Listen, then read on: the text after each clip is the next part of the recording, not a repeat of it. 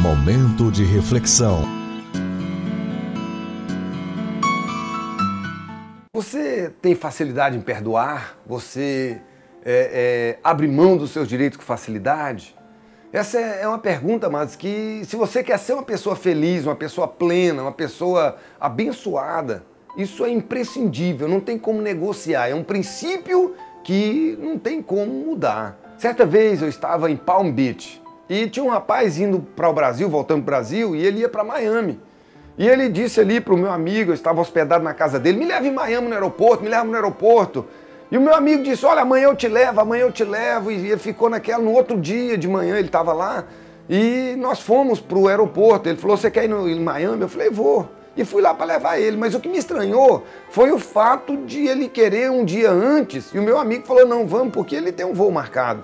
E nós deixamos ele ali no aeroporto e, e, ele disse: Ah, eu vou ficar aqui um dia no aeroporto, amanhã eu viajo só amanhã. E aquilo me intrigou e eu fiquei pensando acerca daquilo. E na volta eu questionei meu amigo, dizendo: Olha, é, é, o voo dele sai amanhã, ele foi para o aeroporto hoje, ele queria ter ido ontem.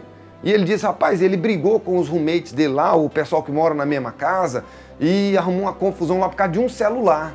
Ele, ele, ele, ele vendeu um celular para o rapaz e disse que tinha 30, reais, 30 dólares de crédito, o celular tinha só 15 e eles armaram uma briga e eles estão brigados. E o cara foi falando né, na ida, ele falou: oh, tem 15 dias que eu não como e eu não durmo e tal, e tá aquele clima. E eu fiquei pensando acerca dessa situação. Ele ficou quase um mês sem trabalhar. Ele ganhava 700 dólares por semana, então ele deixou de ganhar 2 mil e. Ele deixou de ganhar muito, muito dinheiro por causa de 15 dólares. Ele arrumou uma confusão, ele brigou. E, e nesse livro aqui, amado, é, é, é, é, Protegendo Suas Emoções, eu falo um capítulo acerca do preço da mágoa. Você sabe que preço a mágoa tem? A mágoa, querida, ela é algo que não tem preço. Tem pessoas que perdem muito por causa de um centavo, por causa de 15 dólares. Esse jovem, ele, ele, ele brigou, perdeu milhares de dólares, foi embora contrariado, ele disse que estava doente, ficou no aeroporto um dia inteiro, uma noite inteira e outro dia inteiro para viajar à noite. Ou seja, vale a pena por causa de 15 dólares. E o problema não é o 15 dólares, querido, o problema é o meu orgulho, o problema é o meu eu. Entenda, querido, que a mágoa, ela é como um veneno. Às vezes você, a pessoa magoada, ela toma o veneno querendo que o outro morra. É uma insensatez completa e total. Então, querido, eu quero é, é desafiar você a fazer isso, a pensar, né? É, é, qual a minha facilidade em perdoar, em abrir mão dos meus direitos, em, em relegar, porque todos nós erramos. A pessoa que não aceita a si mesmo, ela tem dificuldade em aceitar os outros. A pessoa que não aceita os seus erros, ela tem dificuldade em perdoar o erro dos outros. E tudo isso, querido, está ligado ao orgulho. Uma vez uma irmã foi na igreja, falou, pastor, ora por mim, tudo para mim dá errado, minha vida nada dá certo, e olha, a coisa para mim é complicado. Eu fui orar para aquela senhora e de repente algo falou que dentro de mim, ó, sou eu que atrapalho ela. Sou eu que atrapalho ela. E eu orei, falei, isso deve ser o demônio e tal. E de repente aquela voz novamente, sou eu que atrapalho ela. E eu entendi que aquele era Deus falando. E eu falei, meu Deus, me dá uma palavra, orando por ela. Enquanto eu orava, essa briga dentro de mim. E Deus me levou a palavra dizendo: Olha, eu resisto aos soberbos, mas aos humildes eu dou a minha graça.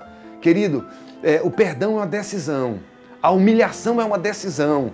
Todo ser humano ele carrega em si o orgulho. Todos nós somos orgulhosos. Existe um eu aqui dentro que quer tomar conta da minha vida. E se eu não subjugo, se eu não crucifico, se eu não mortifico a minha carne, o meu eu, o que, que acontece? Ele vai dominar. Então, querido, o, o grande segredo é esse. Né? É, é, nos humilharmos. A pessoa humilde tem mais facilidade em perdoar. Quanto mais orgulhoso, mais dificuldade em perdoar. Por isso eu quero desafiar você, né? Adquirir, protegendo as minhas emoções. Eu tenho certeza que Deus vai falar muito forte essa história. Essas duas histórias estão aqui no livro e Deus vai abençoá-lo poderosamente. Olha que Deus abençoe. Uma semana muito especial para você. Que Deus possa iluminar os teus caminhos, abençoar a sua vida de uma maneira poderosa. Muito obrigado aí pelo carinho. Que Deus abençoe. Até mais. Pastor José Costa Júnior é escritor, conferencista e presidente da Igreja Batista Vida Nova, autor dos livros Forjados para a Excelência, Protegendo Suas Emoções, Segredos do Coração e superando seus limites. Informações 62 32610991 ou acesse www.ministériovidanova.org. Momento de reflexão.